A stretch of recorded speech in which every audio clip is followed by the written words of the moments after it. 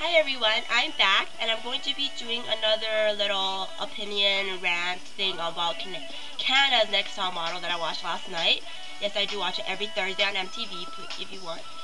Go check that out. Every Thursday on MTV. Okay, and um, Thursday night at 10.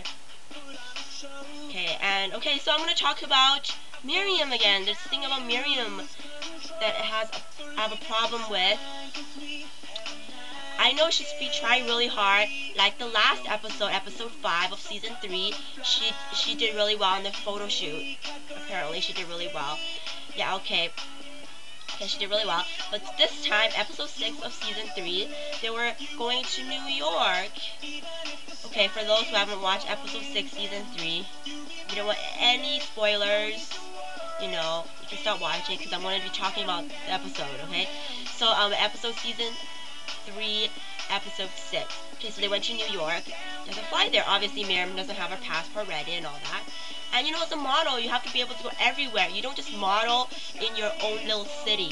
You have to go do video shoots, like you have to do photo shoots, and you have to do um, interviews and go to all these runways, all these things, different places, not just like the one place. And she doesn't have her like um, passport ready. So what? She couldn't go to New York and she couldn't do the go see. And I think that's one of the most important things to do to experience is a go see because that's what you have to do when you're a model to get signed or to go see any like designers. You have to do like go to the go see and go through that process. And she didn't.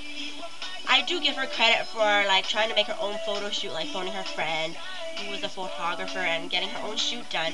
But still, I think she shouldn't have more. Like, they shouldn't have kept her there. You know? And Heather, Heather got eliminated.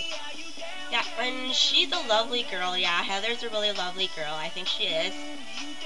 But um, it's kind of sad to see her go. But she, but I think her thing is like, there's two blonde hair, blue eye, her and Megan, and then she thinks she's better than Megan because Megan has always been like underneath Heather, like one step below Heather you know, and now Megan has stepped up to the plate and has, like, Heather thinks she's all good and everything, and she hasn't, like, stepped, she just kept it, like, there, and Heather used to, I mean, Megan, Heather was here, Megan's here, used to be right below Heather, now she stepped up to the plate, because she knows she needs to in order to win, and Heather is still here, so, I don't know, I think Heather's a really lovely girl, I don't have anything against her, I just think, like, she stop trying, I guess. I don't know what to deal with that, but she's out, and who knows?